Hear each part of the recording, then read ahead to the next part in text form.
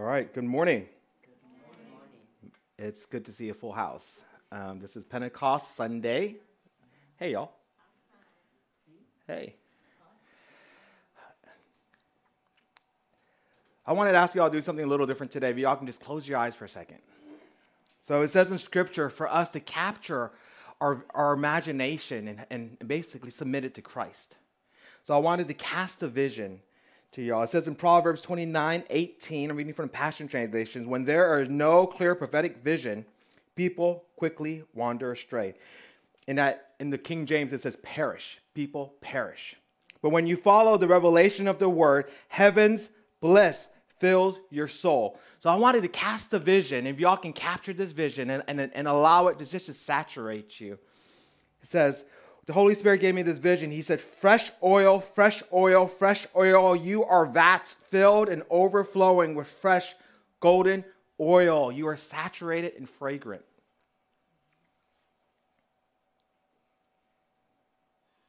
Thank you, Holy Spirit, for filling us. Thank you, Holy Spirit, for overflowing through us. Thanking, thank you, Holy Spirit, for saturating us in you. You know what's exciting? Y'all can open your eyes. One thing I was talking to God about is earlier on, and where He started this church. We're four years old as of like Friday, but as we started this church, God was was telling us to not look at numbers. And today I was like, okay, I'll bite. You know, like a fish, like I'll bite. Like, aren't numbers important at all? And God says, when you're when you're worshiping me, my presence is the most important thing. And I think that's why a lot of y'all are here because you've come and you've come back because the presence of God just shows up heavy and tangible. It shows up thick. Is this thick, oily presence of the Holy Spirit that saturates and coats us. And it changes us. We allow it to permeate us. Um, I think that's why this church is a successful church, not by the numbers. Although I love seeing faces, you know, it's through the presence of God showing up tangibly and through the tangible presence of his love through us. That, that, the, that church becomes more than just a gathering of people, but it's a presence of, of, of gathering around him. All right, time for tithes and offerings. Y'all, thank you for your support. If you'd like to make a check, you can make out the God Manifest. You can also give online, godmanifest.com forward slash donate. 2 Corinthians 9.10, Passion, it says, This generous God who supplies abundant seed for the farmers – which becomes bread for our meals, is even more extravagant towards you. First, he supplies every need plus more. Thank you, Lord, for supplying every need we need. Then he multiplies the seed as you sow it, so that the harvest of your generosity will grow. I believe we have the most generous church in Houston. I'm not a I'm not about prosperity and, finances, but prosperity in the spirit. And I think we are the most pros- prosperous spiritual spirit filled church in Houston because of your hearts to give, your hearts to listen, your hearts to, to search after and chase down the presence of God where He is. And thank you all for doing that, and thank you all for sowing into what God is doing here. The miracle signs and wonders that are erupting. We had a friend Jody Hughes. She has a, a weekly show on God TV. Say, hey guys, I just want to pray for Olivia and Jonathan. Yesterday, it's kind of neat to sit there and have them call us out and just say, we know miracle signs and wonders are erupting with, through your all's ministry, but there are, there's a greater level coming. And I believe that. And y'all are accredited for that, and y'all will be used for that. I believe the ministry expands beyond just us and where we're at. It's where it's y'all and where y'all are at, as long as the Holy Spirit is in you and you're following the Christ. All right. Y'all noticed the last few weeks we don't have childcare yet. Hopefully, Rhea comes back soon. Um, Rhea is Juanita's daughter. She's 19 and she she's our paid child care. So hopefully she comes back soon. Um, so we can have child care back there. But in the interim, please, parents, go back and check on your kids. And um, at the end, if parents could just take turns weekly or together, just kind of help us pick up. Because um, I was up this morning at, what is it, 6 o'clock this morning preparing. And most weeks I'm up at 3 or 4 in a.m.s on Sundays preparing. And the last thing I really want to do is to go back there and clean. But I will um, and scrub and pick up and vacuum and things. So if y'all can help with that, that'd be great. June 6th, Mitko and Albina will be here. I shared a lot about them. One of the greatest theologians I know. So a lot of us, a lot of people like coming here because it, you, you get a lot of rhema words, the spoken word. I also feed y'all with the written word. But this man, man, the way he takes the written word and breathes it to life is extraordinary. So y'all would love that. There were a few people here last week that wanted a copy of the Passion Translation. Three? All right, let's take care of that before I forget. Would you mind giving that? All right, you are going to love it. There's a reading plan in back that's really, really cool. It's broken down by day, so you can just go like whatever today is, the 23rd, I think. You can do the 23rd and just follow those reading plans, and it's just you'll read the entire Bible fairly quickly. And uh, and the Passion Translation is written by our friend Brian Simmons. He's a lead translator. He went back to the oldest known version that he can you can um, a person get a hold of and started there. He's also uh, he has a doctorate in li- linguistics, so he's gone to nations where where there were no written words, learned their language, created their their the written words, and translated the Bible into their language. So this is a man who knows words. He he understands the Aramaic. He understands Hebrew. He understands Greek. Um, so he's going back to the Hebrew, the Greek, and even the spoken Aramaic word, and just kind of breaks it down. So you're all going to love that book. All right. Let's get started. If you never failed, you've never tried anything new. Albert Einstein. If you never failed, you never tried anything new. Hey, luckily for you, I failed plenty of times. So that means I've tried some new things, and I was I was willing to try these new things. And I know that all of us, if I asked if anyone has failed here before in something, we all will raise our hand. Uh, what God wanted to speak about today is the art of failure. There's, a, there's beauty in embracing what we perceive as failure. And we allow God to. God will paint something beautiful with the failures and allow us to learn a great lesson. I believe that if you allow God to use our perceived failures, to me, failures is just a perception. Our perceived failures, He will take that and give us the greatest lessons of our life. How many of y'all have failed at something and then turned around and realized how much you've learned what to do and what not to do? I have. As a pastor, I have, right? I'm like, okay, shouldn't talk to someone that way. You know, that's a true story. Like, I'm like, yeah, that tone probably wasn't the, the, the most pastoral t- tone I could, I could have started with. Um, but I think that that week, this is a true story. He was like, I worked 120 hours that week. And, I, and then I ministered to somebody. And probably I should know my limits and know my boundaries. So, anyways, it's, it's, it's, it's in those moments where when you fail and you make a mistake, it's leaning on God and saying, how did this happen? What can I learn from this? And taking what you learned and moving forward. It says in Romans 3:23 that we've all fallen short of the glory of God. Y'all know that, right? Without Christ, we're not righteous. We're not saved. We're not redeemed. It's only through him that we, are, we, are, we are called his righteousness, which is 2 Corinthians 5.21. So our righteousness, what makes us righteous, can only come through him who is righteous. I think that's a that's that verse will keep you that that mindset will keep you from straying into pride because you realize, wow, I am doing a lot of great things for the kingdom of God, but I wouldn't be able to without him empowering me. Wow, I can't believe I am washed clean, but I would not be washed clean without He who is without spot, wrinkle, blemish, dying for my sins and His blood that was shed for me. I think humility will open up the kingdom of God for you in, in ways like when you're reading scripture, like Olivia and I are going through the reading plan in that Passion Translation together. Well, obviously, I'm a pastor, I read the Bible.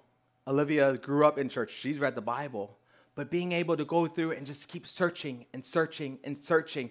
And the more you search, the more gold you're going to find. I had a sermon like a year and a half ago. I called it, I said, Christians are gold diggers. We go and dig the gold that God has hidden in His Word out, and we find the gold in people and call it out. You know, we're not gold diggers in the sense of the word. A lot of people are afraid of the prosperity gospel. I'm saying, hey, we're going to prosper if we if our prophetic gift is used to, to, to locate and call out the golden people. So I don't mind being a gold digging Christian, right? Because I find the gold in you and I will call it out, even if it gains me nothing. And as Christians, I think we're called to do that. Luke 14, verses 27 to 32. I'm reading from the Passion. Anyone who comes to me must be willing to share my cross, this is Jesus speaking, and experience it as his own he cannot be considered to be a disciple or he cannot be considered to be a disciple. Experiencing his cross and carrying it as your own, and then you're a disciple. He goes on, he says, Don't follow me without considering what it, it will cost you. For who would construct a house before setting down to estimate, sitting down to estimate the cost of the to complete it? Otherwise, he may lay a foundation and, and not be able to finish. The neighbors would ridicule him, saying, Look at him. He started to build, but could not complete it. Well, in failure, a lot of times we're counting the cost before it happens. You ever done that? You talk yourself out of something, and then when you finally go pursue it, you realize, I didn't fail. And God is looking at you, goes, I called you to this, fill in the blank, whatever He's calling you to, or to this person, or to this platform to get a chance to share. He's not going to fail as long as you're following Him. You're not going to fail. His goal isn't for you to fail, but his goal is if you fail, he's there to lift you up, teach you an amazing lesson, dust you off. And when you say, Lord, I'm sorry for going astray, he says, You're forgiven. I've forgotten what you just did now. Like literally. Like you could do something right now, turn around and say, Lord, I am so sorry. And he says, I forgive you. And you say it again, I'm so sorry. And he goes, For what? He says, He forgets your transgressions no more. That means it's washed away. I'm not a parent, but I am a pastor, and I know parents, parents love that way a lot of times, like, and it's hard. There are a lot of parents here, right? When your kids act up and they and you and you want to spank them, right? You, are not going to spare the rod. You want to spank them, right, Juanita? so, uh, so when your when your kids act up and they act this way, and then they come back and they repent, we as humans we still remember the transgressions. God is saying, it's wiped from my memory. Not only that, even greater, it's wiped from your history. We had a friend that was, we had two different friends. A friend of mine, he, he has a big ministry now. I'm not going to name say his name, but he's, he travels all over the U.S. He's a prophetic voice. You know, y'all can find him on Sid Roth. He was on Sid Roth once or twice, but he was talking about how he was a pimp and a murderer in jail for murder. he's supposed to spend life in there. And all of a sudden, the courts decided to release him. And now the courts can't find a record of what he did in the court system. And I have another friend who is a gangbanger. He has, y'all, you know, I grew up on the streets, so he has some tears, teardrops on his face. And last time he was here, he spoke here one time, and then one of the members goes, What are the teardrops? He goes, Dude, you know what the teardrops are. I don't want to talk about it. It's not part of my history anymore. Well, here he is applying for jobs after leaving for at least after leaving prison for one of those teardrops. One of, I think he has three, right? And then he's applying for a job. He puts on your, he, you, have you all applied for a job before? It says, do you have a, any, a criminal record? Yes, misdemeanor. Yes. Like, what, what did you do? Murdered a man, right? And they, and they said, hey, we, we ran your record. It's wiped from your history. You don't, are you sure? Did you mistaken are you sure you went to jail for murder? That is ridiculous. That's, those are physical manifestations of the goodness of God. That's a physical manifestation. It doesn't happen to all of us, right? But it happens to all of us in the spiritual. Some of us, I have friends have gone to prison. Some of them are still there. But they're in there now serving God. I have a friend right now. He was in El Paso. He just got transferred. He's in there. He grabbed a hold of my book read it all, passed it to his cellmate. His cellmate read it. He passed it to the next cellmate. The stat cellmate read it. And next thing you know, it, it spread like wildfire. And I got six letters of salvations. And this is a man who went to prison for, for guns and drugs. But what did he do with that failure? He capitalized on it for Christ.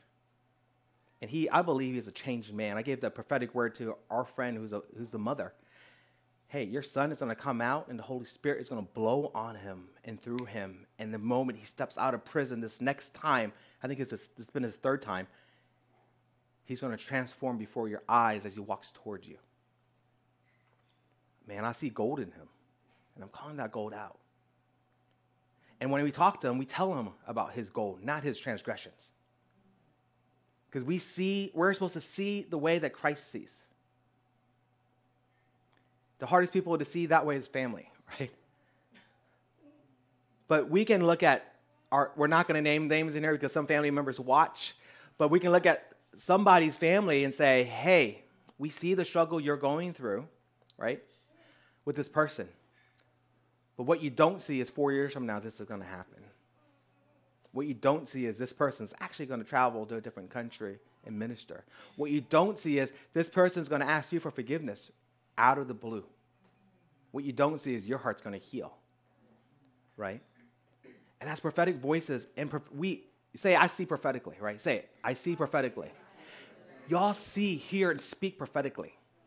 And as you begin to go out and you begin to do those things Christ has told you to do and pursue the people that Christ has told you to pursue, and you, and you begin to speak to who Christ has called them to be, you're going to watch them transform to gold.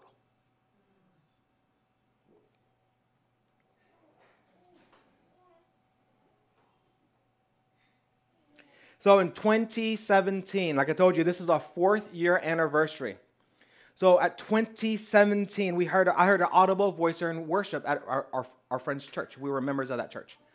God said, start in May. This is January like 1st or, or 2nd, the first, their Sunday of 2017. Here we are sitting there in church during worship, and that's when God talks to me. Why? Because my heart is being recalibrated during worship to worship Him, and suddenly I can hear and feel Him louder and feel Him better. So, anyways, God said, start in May, and I knew exactly what He was talking about. He wanted to start church, May 2017. I turned and looked at Olivia, and I sat down, I crossed my arms, I was like, no way. I am not interested. So, what happened a few months ago, right? A few months before that, the end of 2016. The end of 2016, a woman named Levon shows up, a prophet. Where's Olivia and I are just sitting there at our friend's church hanging out, and she releases a prophetic word. I see the two y'all opening up your living room and gathering people around God. I see your neighbor getting saved. And I'm like, I look behind me, I'm like, you talking about me? I am not opening up my living room to have a bunch of strangers show up. You're talking to the wrong people. And she just kept on going and going and going about this grand vision, which is like today. I'm looking out and going, this is what she prophesied, and this is what I initially did not think I wanted. But seeing the fruit from y'all makes it all worth it. So I'm looking at God, start in May, and I said, no way, no thank you, not going to happen. You've got the wrong couple, God. I was saved, I was Buddhist, and I was saved in 2003. I visited one or two home churches at that time. I thought home churches were weird. God has a funny sense of humor. Um, here I am sitting in the living room, my living room, having a home church, right? But when, and then I was like, and I told Olivia, and she said, "What do you say to God?" I'm like, "No." She said, "All right, I trust your leadership." And I was like, "Oh my gosh!" When a wife says that to a husband, we're like, "Okay, am I following God's lead right?" Because she's trusting my leadership. What's wrong with her? Is she crazy? I'm like, you can't trust my leadership. I'm human, right? And then next week, boom, same thing. I'm during worship, deep into worship. God says, start in May. And I sat down. I'm like a little boy. No, you need to stop this. This is madness. I am not interested. And he, he just continued to talk about other things during this time. And I'm like, not interested. I don't know how many times I tell you, week after week after week after week. I think it was the beginning of March. God said, start in May. And I said, you realize we're in leadership at this church, and this church, we don't want, it was, it was a small church. It was like eight people, nine people. If we step, if we leave, they lose a big piece of their church, right? And I can, rec- I can, I can, I can imagine that because our church was once four or five like dedicated members. So one person left. That that was a big loss.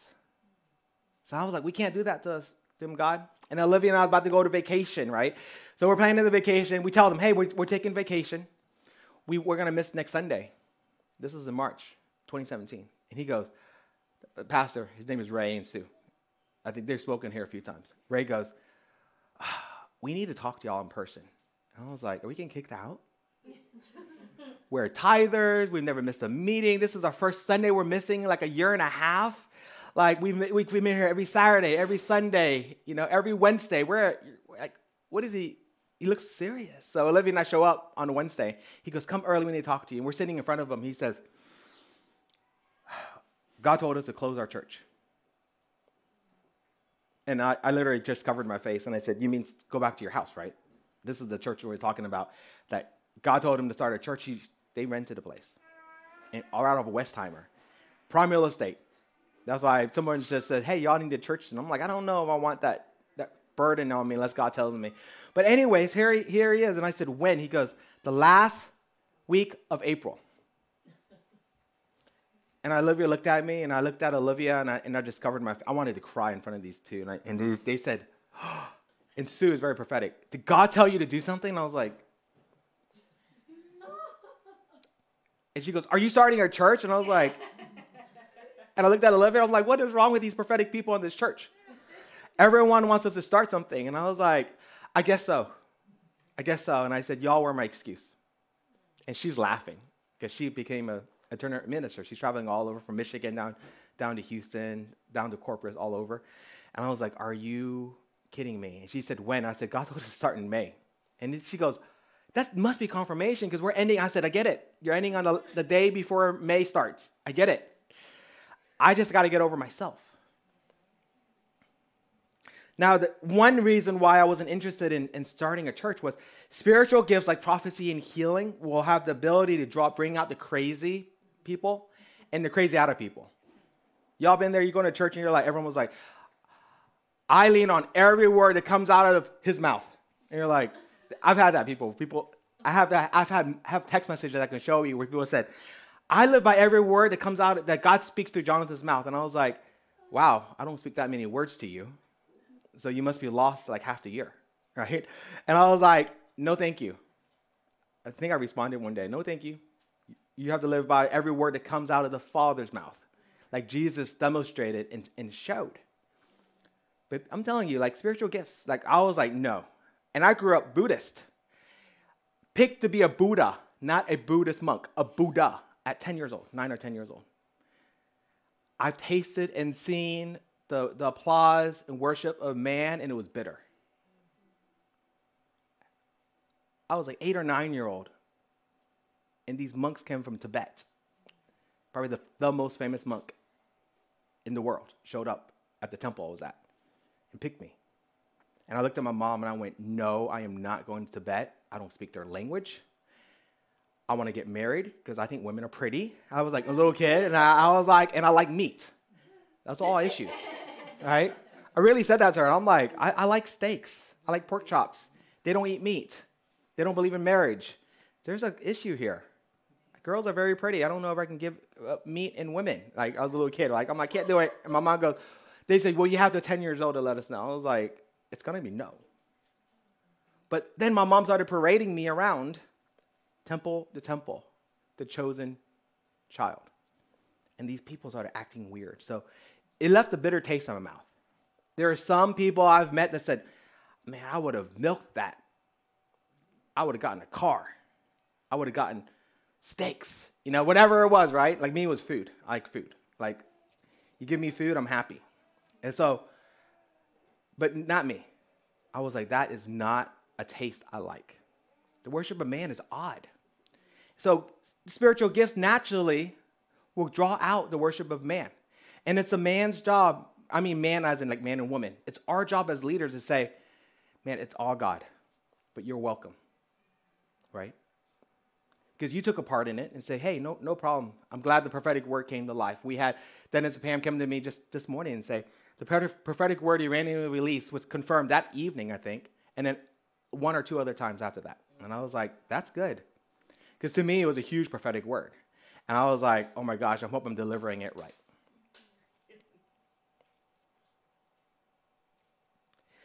And another reason why I wanted, we didn't want to do it was we had a lot of friends who were pastors and ministers around the world at that point. We saw the abuse that they took. we saw the dishonor, the rejection, the pain that they felt. We saw the unspoken and unhealthy expectations of man weigh on them. We saw the amount of personal time that they gave up. Like, to us, we, we don't pressure you to come. So you can take a Sunday off, we're not going to freak out. But we take a Sunday off, you know, like people will look at us like we're crazy because we're pastors.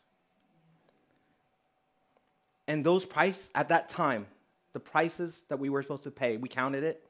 I counted it. I think she was okay with it initially, but I was like, I don't know if I can pay that price.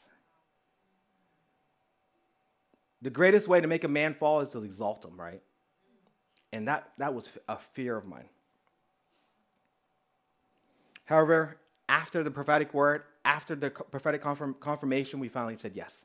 It took a lot of, a lot of talks from God and a lot of prophetic words before we were like, fine. You know what God said next?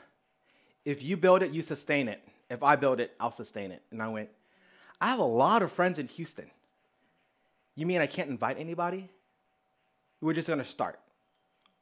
Awesome. Like, and not tell people. And over the years, we watched people just randomly show up. Some were invited from ch- uh, uh, churches on online, were telling them about us, and some from word of mouth, some other groups of the Bible studies. And I'm watching this God build this place, and I'm like thinking to myself, I had this fear of failure. My success was measured by numbers. And when some days it was one person sitting here, it was Olivia, and it was one person. And and, and a friend of mine watched one day, and I was preaching my heart out. And he gave me a text message Man, you must have had a huge group that day. And I said, It was one person. right? It was my friend Ray, the guy who ordained us, the guy who, who God shut down his church. I was like, Did you really shut down this man's church? Give his church back, God. Well, we'll do it. Don't shut his church down, right? And he, and he said, Where'd you learn that? And I said, From you. Because he had a church of eight or nine. And some days it was just the two of us and he preached his heart out. And I said, I learned from watching you.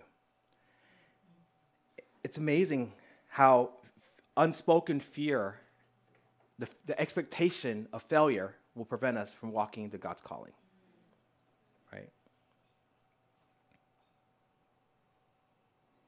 So now, four short years later, I can say that I'm a little biased. Uh, we have the most amazing flock of church members I've ever seen. Y'all are empowered. Y'all hear God. We practice hearing and speaking God's prophetic words regularly. Y'all are out living your life and, and doing your ministry that God told you to call you to do and gathering here and ministering to one another. That is a healthy church. Y'all have a voice. Like we watched y'all last week. First, it was the first day, right? Last week. Just jump in and minister to people. We walked over, we were like, we are impressed. These people are coming here and they're hungry and they're just pouring out their hearts to strangers. Because in the, in the, in the body of Christ, there are no strangers. We just watch the love pour out. It's amazing.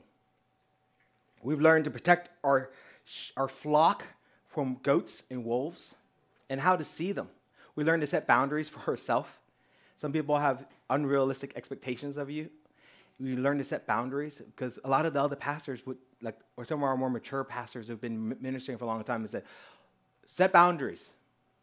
Because you don't those those who are who, who are being sent by the enemy will drain you. So we're learning to set boundaries. It's pretty interesting just and y'all watched us through our growing pains and we're still growing and it's still painful and we've helped some of y'all through y'all's growing pains. It's amazing. It's just these, four years have been has been instrumental to our growth.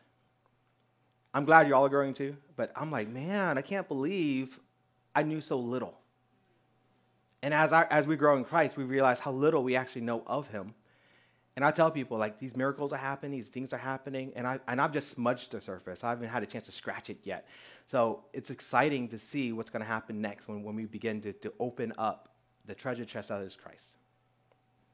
And you know what? We figured out that y'all are worth it. You're worth me waking up at 3 a.m. on Sundays. You know, sometimes we're ministering, traveling. We were traveling Friday and Saturday. We came home, and I, that's why I woke up so early today to make sure what I was feeding was, was, was food that would feed me and also feed you. Y'all have grown in faith, boldness, fiery power. Just the, the Because God says you're supposed to move and do in dunamis power, and I'm watching y'all move and do in dunamis power from day one. Some of y'all are, came as more mature Christians, some of y'all came as newer Christians, but instantly there's no competition. I think that's one thing that God looks at in a, in a family of believers. Are they competing and vying for position, or do they all know you're his favorite? I remember my brother and I used to sit against my mom. I knew my brother was my mom's favorite, so I knew she was gonna lie to me. But she goes, "Mom, who's your favorite?" He goes, "Both of you," she said. And I was like, "Whatever." David's her favorite. I knew it. And I asked her. She goes, "Both of you, both of you." And I'm like, "That's impossible. Favorite is is a, is a, is a singular noun, you know." But it's it's true. Had a guy come up to me. We ministered. Uh, Juanita and Jessica was with us in Victoria, and then he came up to me and he goes, I don't want to sound boastful, but I'm God's favorite. And I was like, You're not boastful because I'm God's favorite. And he kind of looked at me and I looked at his wife and I said, Now you are actually God's favorite. I said, Between the two of y'all, we favor you. And I said, and he goes, Well, that's fine. I have other friends, you know? But it was funny because it's, it's all true. And if we, if we approach the throne as sons and daughters in sonship, knowing we're his favorite, he'll, he's going to lavish everything he has on us. One of the greatest lessons I had with Christ is he said, when you're in a kingdom, the greatest treasure is not, is, is not in, the, in, in the treasure chest. It's on the throne. When you have access to he who is on the throne, you have access to the kingdom. If you chase the treasure, you only have the treasures like gifts, right? Some people only chase the gifts of Christ, but not Christ. We're called to chase after the king and follow the king.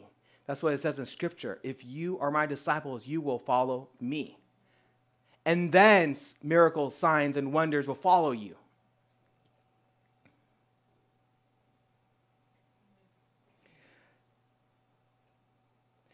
So I grew up a huge sports fan. To me, you know, I grew up in the 90s. I was in I was middle school and high school in the 90s. Um, with some of y'all weren't even born. I'm not gonna name names. Okay, but uh, it, it's crazy, right? When you talk to talk to someone who's like 19, and when were you born? They'll say like 2002. I'm like, no, seriously, like 2001. Like, two, what? How is that possible? You look like a grown up, you know. But anyways, so to me, the greatest athlete and competitor ever in sports is Michael Jordan. I'm a Hakeem Olajuwon fan, I'm a Rockets fan, but man, there ain't no one like Jordan. I'm not saying, I'm not using him as an example because he's a Christian. I don't know what he believes in. He's pretty private in what he, what he shares. But I just, I just appreciate his work ethic and his accomplishment, his mentality, and his, his, his, his, his ability to not focus and look at failure. He's won six championships, five MVP awards, six NBA Finals awards, 10 scoring titles, which is a record. I just go on and on and on. He has record upon record. And he, he if you look at the record people that he's beaten or he's around, he's played less games than most of them. He scored the he's he's averages the most points in NBA history for a season, most points in the playoffs. Like he was a man. I watched Olivia and I watched like she's not a big sports fan. We watched what was it Michael, the Michael Jordan documentary? The Last Dance. The Last Dance. Yeah, we watched The Last Dance, and I was like, how intriguing. How intriguing. Like, you challenge this man, he goes, figures out how to beat you, and he beats you. In any, almost anything. So it's pretty amazing. So he said this in an interview, I think in the 90s. He said, I've missed more than 9,000 shots in my career. I've lost o- almost 300 games. 26 times I've been trusted to take the game winning shot and missed. I failed over and over and over in my life, and that is why I succeed. The key to success is failure. I know God is an obstacle. No, God, I know fear is an obstacle for some, but it is an illusion for me. Heart is what separates good from great. My favorite quote from that is I know fear is an obstacle for some, but it's an illusion to me. Why? Because fear is a liar. We hear that as a Christian all the time, but do we believe fear is a liar? How many of us has fear has, has been worried about something, stepped into it and just succeeded and looked back and said, I had nothing to be worried about. 90% of the things we worry about, if not greater than that, never comes to pass. Last night, hope y'all may be freaked out. We lay down in bed, three gunshots. Right in front of our house. Literally three houses down. But it sounded like it was right here. My brother owns a gun a, a gun shop, so I was like, I sat up and I went, those are gunshots. I grew up in the hood. I grew up in Third Ward and and and Alief. So I was like, I, I was about to go get it. She goes, lay back down, like where the brick is. And I'm like, I need to go get my gun just in case someone's gonna kick down the door because I'm gonna defend my wife and my home and my three little puppies. I have three dogs. So I, I put a message out next door. There was a robbery one block away. There was an AutoZone over there, and the car was being chased this way, and they shot three shots towards our house.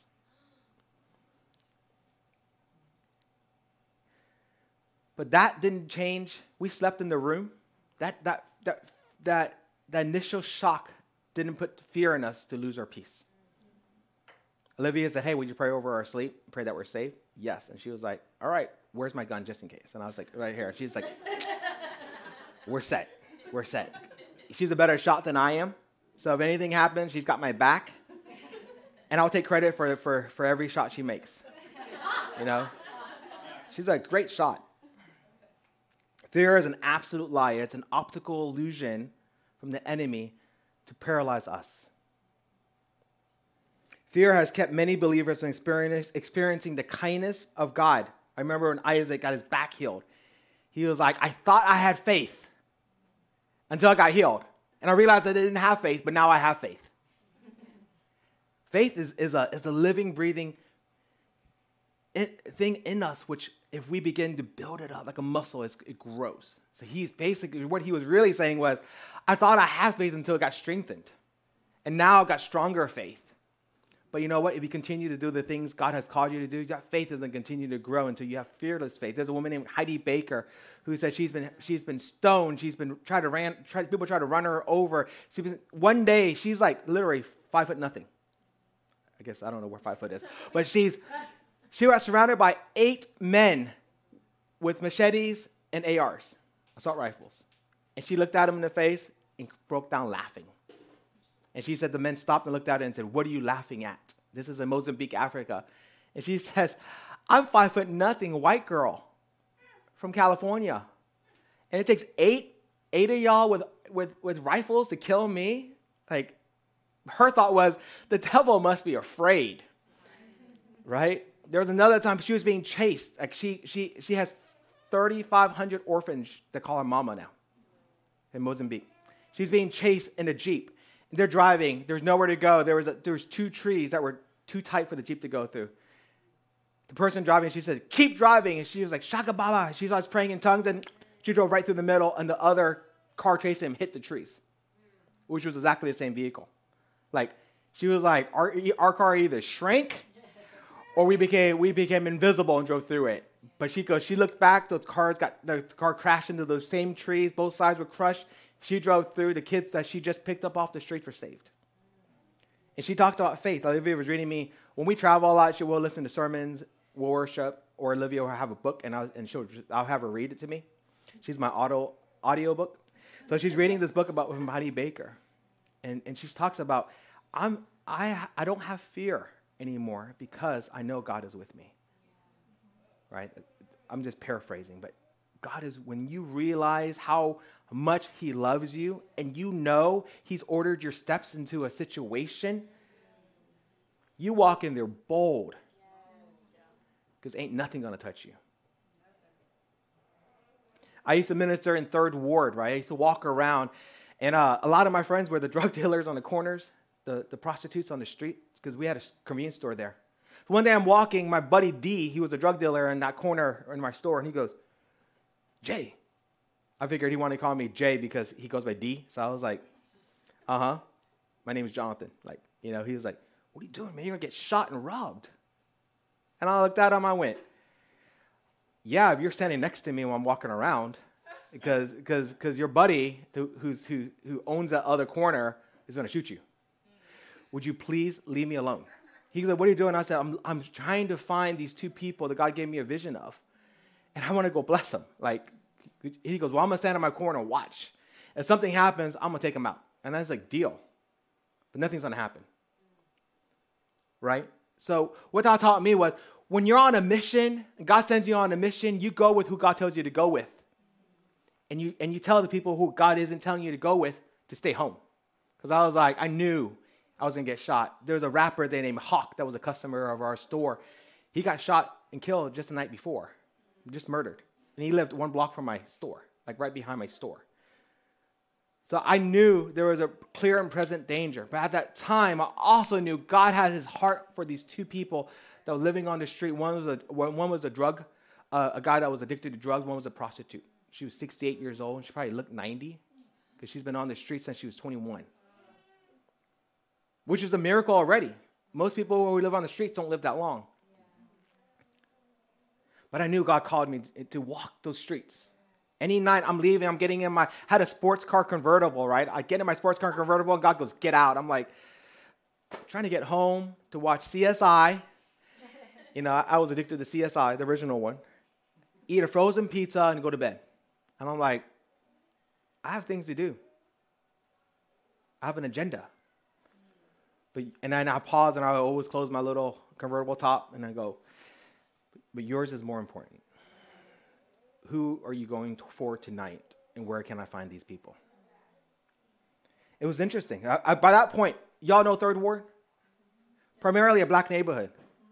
There's a, there's, a, there's a man there that converted his house into a chapel, and I was like 24 years old at that point. Converted his house to a chapel. So one day he just walks over to my store and said, "Hey, can I can you come to this address afterwards? I got something. I got an opportunity to present you." I'm like, "I don't know you," and God says, "Yes," and I was like, "Yes, I'll be there." And I was like, at midnight. I'm like, this is great. I'm like, who is that, God? And God goes, yes. And I was like, we cleared that. I know, you said yes. Like, who is that? And he just said yes. And I was like, guess I'm gonna go and become a martyr, right? I, there's many times I, I thought I was gonna be a martyr. I'm like, I'm gonna go to this strange man's house who, who never met me before, heard about me on the streets, hands me his, his address, and I didn't even know his name. So I get in there, knock on the door, he comes down, he goes, I walk in, it was a chapel. This old house, the whole downstairs was chapel. They had drums donated, guitars donated. And he goes, This is a church. And I went, Okay. And he goes, We don't have a pastor. And I went, Well, I can ask around. He goes, are you, are you not the Christian who ministers on the streets? And, and how these, these prostitutes have gotten off the streets, these drug dealers, have, these, drug, these druggies have gotten cured, like delivered of, of drugs? And I said, yeah, like four of them only. And he goes, Do you not have a heart for our neighborhood? I said, I do have a heart for your neighborhood, but I am not a pastor, nor will I ever be a pastor. And I said, and I said, I'm Asian. And he goes, Right now we just worship because we don't have anyone to preach. And I went, But I'm Asian. I'm 24 years old. And I said, Everyone I minister to are like twice my age. They're not going to listen to an Asian man in Third Ward. And he goes, They're listening now, son. And I was like, I'm sorry, sir. And I left. Who would have known? I don't know what I'll be doing now. I'll probably be still in that house. And those men, those men and women still be being still be set, being set free. That whole neighborhood is changing now.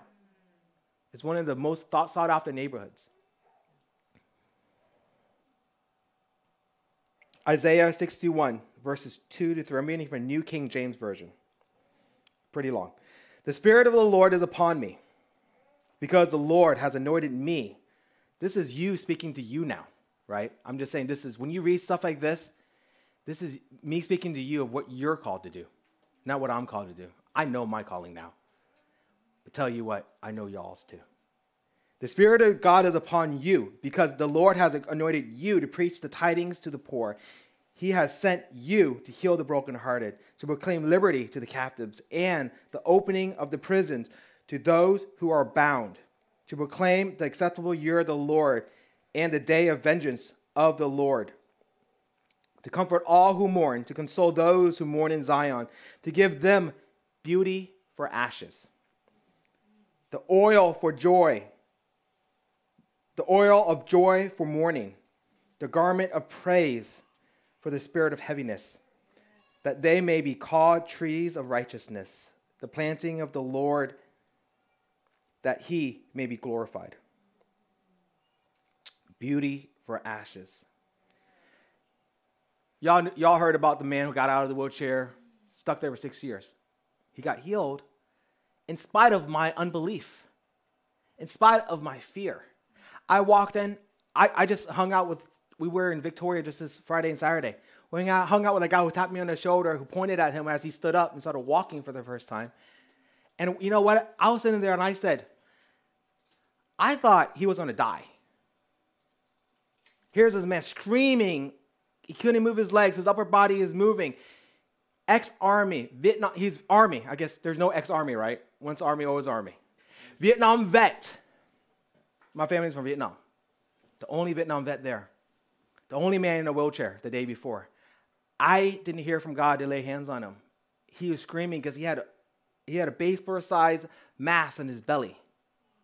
He was a, uh, it was a hernia. It was a, called strangulating hernia, which apparently I don't know anything about hernias. Hope I never experience it, and I will never experience it in Jesus' name. But apparently it's painful. And he was screaming and screaming and passing out, waking up, screaming and screaming and passing out. And I'm looking at him going, Y'all have got the wrong person. Call the freaking ambulance. Mm-hmm. Because when they grabbed me, they said, We need your expertise. And I was like, man, I'm seeing cancer healed and stuff, but I, I am not used to seeing a man in a wheelchair screaming in pain and passing out on me. This is beyond my faith. Well, God healed his hernia. He still healed to this day. And then on top of healing his hernia, God healed his legs. In the midst of me thinking he was going to die on my watch. Other miracles. Her grandma, stage four incurable lung cancer. God prophesied out of me when it was on a Saturday. On Tuesday, when you're cancer free, your doctors, when doctors tell you you're cancer free, text me. She said, whatever, yeah, boy, I'll text you. And Olivia gets in the car and said, is that true? And I went, what's true? She said, you just told her to text you on Tuesday when she's cancer free. And her grandma goes, how did you know I had a doctor's appointment? And I was like, I sure hope so. If, not, I'm going to lose my girlfriend. Because she was my girlfriend then. And I was like, God, you're setting me up for failure. Tuesday comes, Olivia calls me over and over and over. I'm working at an oil gas company as a marketing person. I pick up and I'm like, what? And she goes, has, has Miss Jane, my grandma, called you or texted you? I'm like, no, why would she? And she goes, it's Tuesday. The doctors can't find any cancer in her lungs. That was in spite of me, right? Have y'all done that before? Where you're like, you're praying for somebody, oh gosh, I don't want to step out for this person. You pray for them, they go, I feel better. I'm always in shock. I'm like, really? like, how much better? Like, you're completely better? How's that possible? They say, you told me I was going to get healed and you lay hands on me. Yeah, in faith. I didn't expect you to get healed. I had faith to say it. That was as far as my faith extends sometimes. I have enough faith to say, yes, you will get healed. And, and go, and internally, I'm like, gosh, I hope I'm right. And, and it's, these miracles happen in spite of me in spite of my unbelief, in spite of my fear. And He'll do the same for you. And what happens now if you walk in there bold? If He's answering your, your, your, your unbelief, what happens if you, if you begin to walk in there bold and expecting?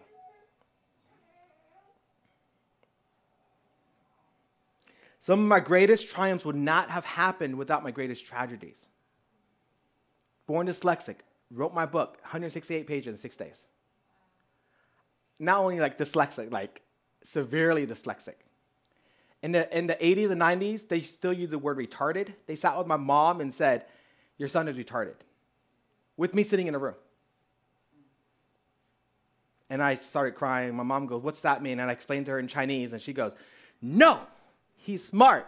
And she grabbed me and pulled me out of that room. And I'm sitting in the car. Mama goes, What do you want to eat? And that was, was good for me. And I'm like, I want to eat some Vietnamese soup. She goes, Okay. You're not retarded. You're just not very good in school. And I was like, but the expert said I'm retarded. We have teachers here, you know. But it was interesting at that time, that word was labeled so quickly. Now they have ADHD, ADD. And they have a slew of like psych- psychological titles they want to slap on children. And I'm telling you, with Christ, all things are possible. I remember I was asking God one time, y'all, a lot of you have read my book. Chapter four is like is all the abuse I've went through, like the worst abuse I've gone through. And I asked God, I said, what would happen? And I just met Olivia. And I was like, what would happen? Because I knew a lot of my emotional issues towards her and towards other people was because of my childhood. I said, what would happen if my mom never beat me to death at 12, never killed me?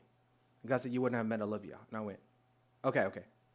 What would happen if my mom didn't punch me in the head and made me learn math for hours and hours and hours until I memorized multiplication table? She, it, God knew I was like, I'm still in love with Olivia, but God knew at that point I was like, Olivia's my everything. And God says, You wouldn't have met Olivia. And I went down this list. And after like 10 things, I sat there and I'm like, So my life was worth it. That cost, if I had to, if I, if I could er-, erase one of those things, and that would mean not having her, I would go back and take it 10 times, right? My relationship with God wouldn't have happened had I not gone through those things because I wouldn't have experienced the goodness of God. There are some people that are born with what people we perceived as everything. Perfect family, the Brady Bunch, right? I know An said that. Like his, yeah, he was like, my family was a Brady Bunch. He was like, everything was perfect. I have nothing to complain about. Never was hit, never did bad. My family's perfect. And I was like, good for you like, where, are you gonna go boil some crawfish? You know, like, we have a crawfish boil. He was like, my family, we're eating crawfish. He's like, my family's a Brady Bunch. And I was like, give me the next round of crawfish. I don't want to hear about that because it's not fair, right? But there are people that are born like that, and then those who are saved from much and healed from much. I've watched these people run after God more fervently. The people asked me, I was saved from Buddhism, right? From suicide literally all these things from from a family was into gosh my family was into brothels gambling my dad was one of the biggest bookies in houston like and my brother and i used to collect money for them. A collector does things that you're not supposed to be doing right? You just had to get the money and the things that we witnessed growing up. But you know what? When i sit and i talk to someone who's addicted to to anything from drugs to alcohol to gambling I know what they're going through because I've looked into their eyes hundreds of times. And now I want their freedom, not for them to pay my, my dad what, what we perceived he owed. Right? And I think it's the same thing. When I sit and I talk to a child who's from a broken home, or has brokenness, I can relate. Like we minister to, to girls and boys of all ages some of them are uh, girls and boys are in their 50s. They never experienced the love of a father or a mother. And when we're able to pour that out, there's no greater ex- experience to watch them realize I'm adopted from God and I experienced God's love through you. I never knew that love existed. Is there more? And it's an ending waterfall of love. Like the saturation of the oil of God is ending, never ending, right? There's a never ending saturation of God for us. It says in Scripture to be continually filled with the Holy Spirit. That means the Holy Spirit is continually pouring out. How do you get continually filled? You go, where's He pouring today? I'm going to position myself there. Okay, He's moving to this direction. I'm going to continually pour it in so I can be continually poured out of and then miracle signs and wonders will follow. God says, You're my disciples if you follow me. And I know that y'all are disciples of Christ. You know, the first time I ever gave my testimony, y'all know my testimony, so I won't go into it, but first time I ever gave my testimony, the largest church in America is here in Houston. So my friend is a pastor, was a pastor of their young adults a thousand members, young adults, a thousand members. Like that's larger than 80% of the churches in, in, in Houston. this is a young adult service. And he comes to me one day and he says, Hey, man, can I take you to lunch? And I said, Well, you, you had me at lunch. Yes. Right? So we're eating some, some cheap Chinese food. And um, then he says, I heard about your testimony. And I was like, Who told you? He said, You used to be Buddhist. I'm like, Who told you my testimony? And he goes, Are you okay? And I said, I wasted 23 years of my life as a Buddhist. Who told you about my testimony? And he goes, Why don't you tell me your whole story? And I went, Why do you want to know? The, the level of deception I was in before God, God revealed himself. And he says, I actually want to know how he revealed himself. And I started sharing with him. And I'm here, sitting here in shame because 23 years I thought of a wasted time. And I'm pouring out my testimony. I started off with my mom killed me at 12. I was about to commit suicide. God spoke to these women, knocked on my door. I answered. Six, six months later, eight of them got saved. And I was saved. Six months after that, I was on the streets ministering to people because I had time to make up for, I thought. God has an amazing way of making up decades and decades of time that we perceive we failed in. I thought I had 23 years of failure. But what God said to me was, God said, I kept you in Buddhist for 23 years so you wouldn't be affected by the religion in my church. And I was like, what are you talking about? So I joined a church and I went, oh, get it. Yeah. Yeah, like, what do you mean we're not supposed to be praying for the sick? What do you mean that was for yesterday? What do you mean those are only for the apostles of that time? Like all these people were telling me all these theology stuff that they made up because of their lack of belief, the lack of experience, the lack of presence. They went, that is not for today. The Holy Spirit and praying in tongues? No. The presence of God doesn't manifest physically. Now, all these people were telling me these things, and here I am, a brand new Christian. A year into it, I was like, okay, I get it. I get it. I, I understand the religion. And I was like, what is religion? God says, it's, it's man's attempt to create an atmosphere to duplicate what I have, right? Like, that's a religion. You're trying to, man, we're creating this atmosphere and saying, if you do all these rules and laws, I will show up. And God, and, and the truth is, God says, yeah, you can do all that stuff, but I was already here. If you do all these things, God will heal you. And God is saying, I was already willing to heal you in spite of those things you want to do. So it's so interesting where, where law tells you what you can't do, and relationship tells you what you can. So here I'm talking to him, Chinese, eating bad Chinese food, and, he's, and I finished my testimony and I covered my face, and he goes, he was quiet. And I looked at him, I was like, I know, it was, it's terrible, right? That I was, and he goes, You want to share that at, at my service next week? In front of a thousand people. Never shared my testimony before until him, and then my old, my best friend, right? My, my, my, uh, my business partner. And I went, What? And I'm going to get the response that you had of just staring at me. And, and I was like, Why? And he goes, Your testimony has to be told. So I said yes, because God said yes. I felt God say yes, and I went, yes. And he goes, all right, I'll let you know next Sunday. I mean, that, it was, uh, what was it? That was Thursday night. I'll let you know it was Friday night, he, Friday we had lunch, next Thursday. So Wednesday comes around, he, then he sends me a text message, can I buy you lunch? Answer is always yes. And I was like, yeah, you can buy me lunch. He goes, are you ready? And I'm like, I guess so.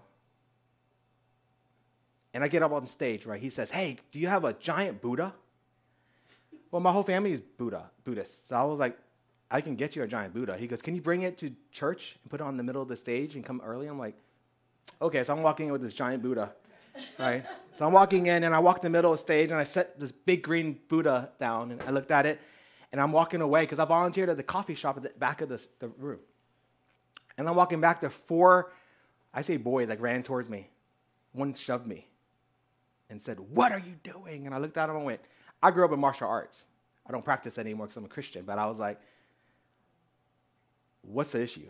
And they said, You put that blasphemous stuff there? And I'm like, First of all, what's blasphemous mean? I'm a new Christian. Like, what are you talking about? They said, Anti God. I'm like, That is, well, that is anti God. But I, I was told, and he goes, And they're getting my face and they're cornering me.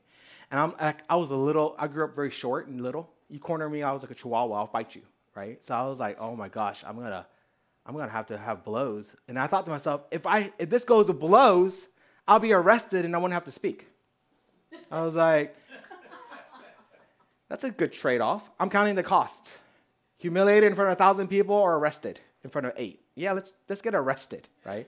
And I started walking forward, and they said, I said, Scott, Pastor Scott told me to drop this here. Check with him.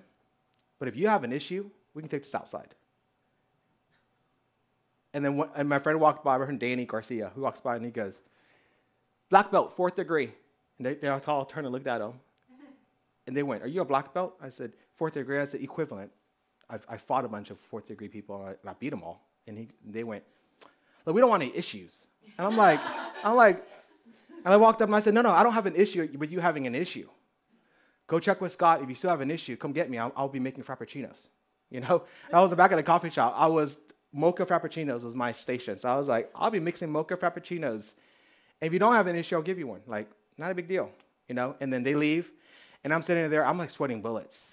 And then all of a sudden, he gets on stage. He's a very dynamic speaker, and he's speaking and speaking. And he goes, I want to introduce, and I'm, I'm walking to the edge of the stage. I was like, because I knew on the spot he could, he could do a whole message.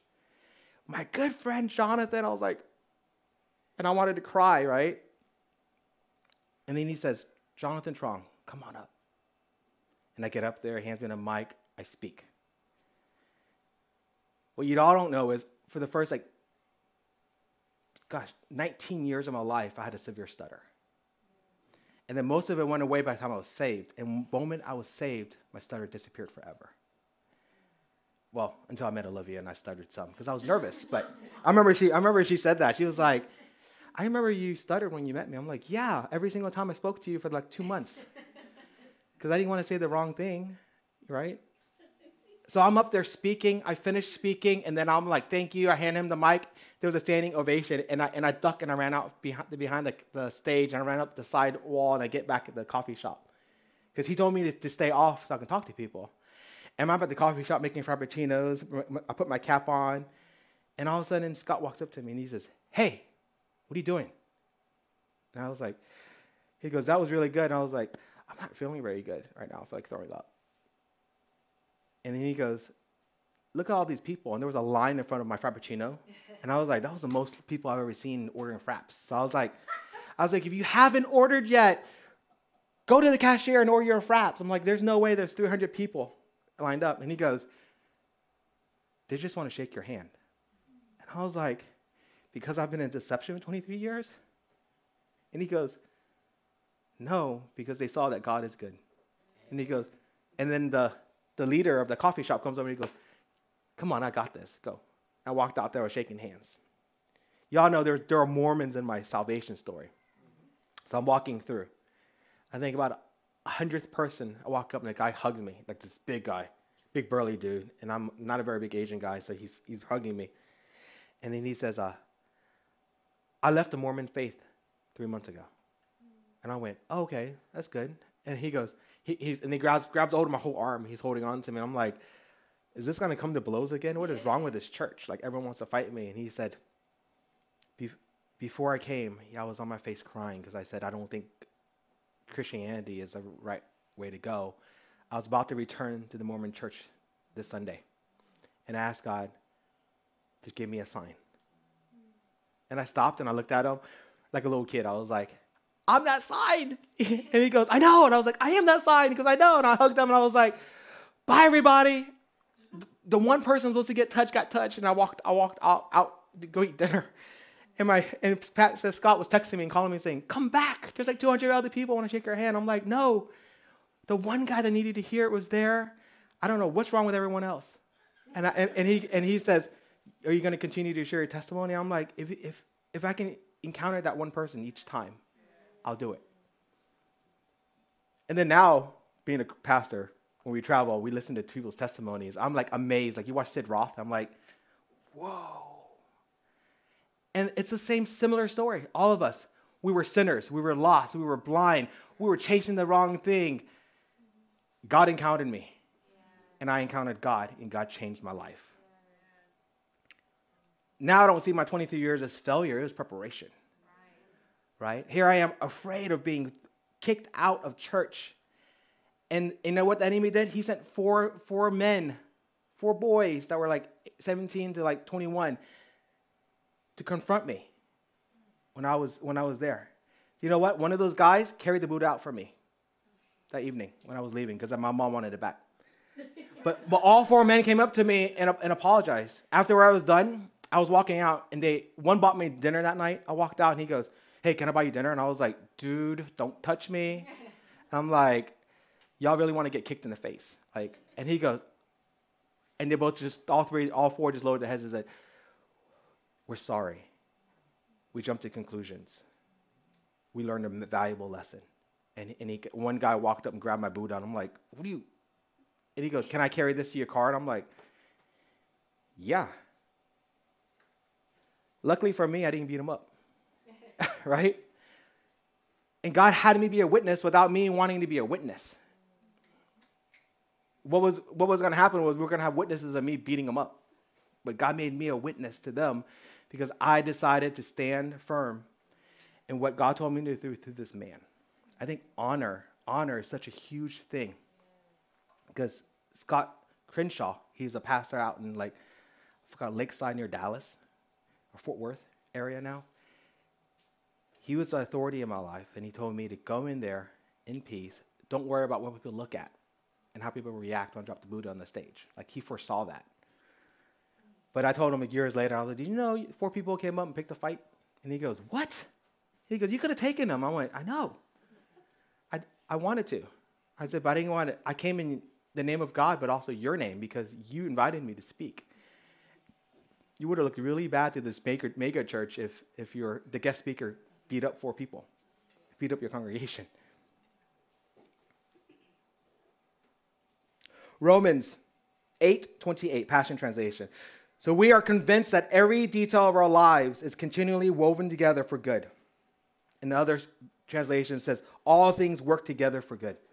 For we are his lovers who have been called to fulfill his design purpose.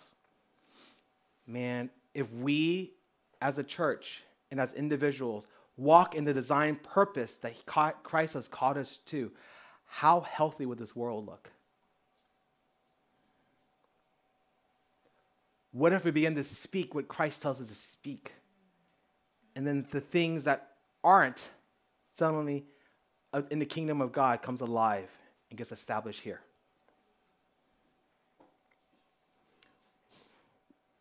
Our purpose is to be Christ like in all things.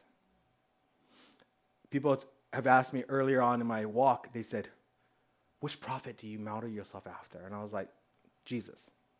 What about apostle? Jesus. Teacher? D- Jesus. You're a pastor now, right? Who's, who's your, who, who do you want to be like? What, what pastor? And I'm like, Jesus. Evangelist? Jesus. Why? Because so many people are looking at all these different people. There are many apostles in the, in the, in the Bible, right? But our example is Jesus. We can't, for, we can't afford to look at anyone else. We can't afford to chase after anyone else's identities because our identity is Christ. If we stay Christ we, we keep our heart focused on Christ, our eyes on Christ, and our hearts filled with Christ, we can't help but to shine Christ where we go. And then miracles, signs, and wonders will follow. You want the miracles, signs, and the wonders to follow as you follow. You don't want to follow the miracle signs and wonders and chase those without following the one who is the miracle signs and wonders.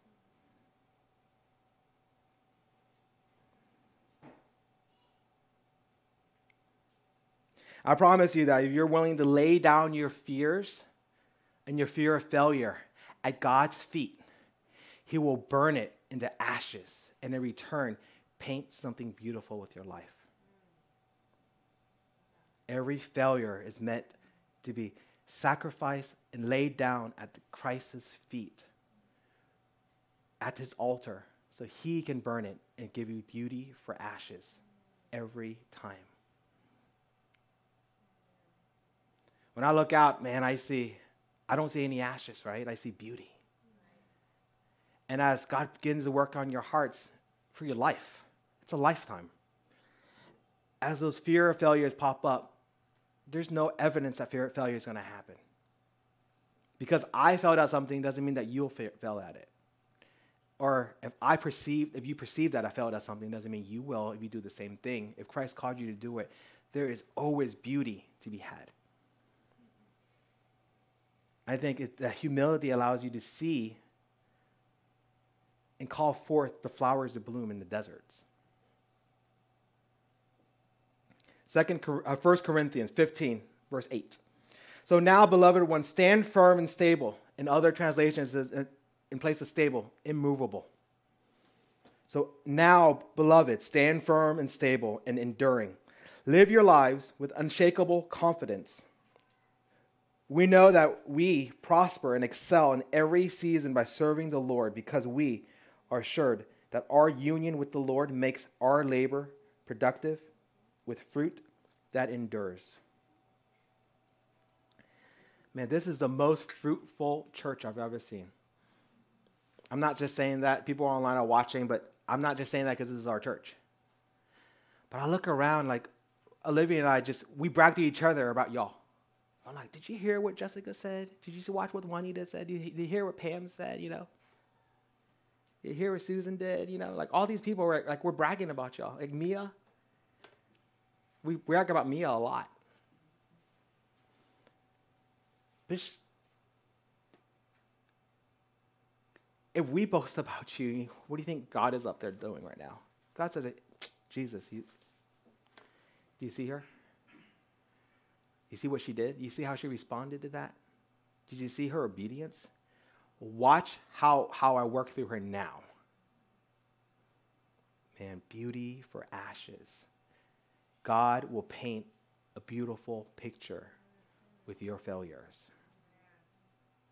Well, God bless you. Thank you for joining us online. Thank you all here. We're going to go out. We're going to do personal and individual personal and individual prayer, and um, y'all are all invited to participate because it's not about us. It's about God and y'all. Well, we love y'all.